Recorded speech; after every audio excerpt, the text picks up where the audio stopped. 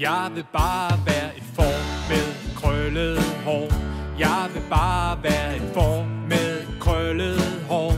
Og Gud passer på mig, hvor end jeg går. Jeg vil bare være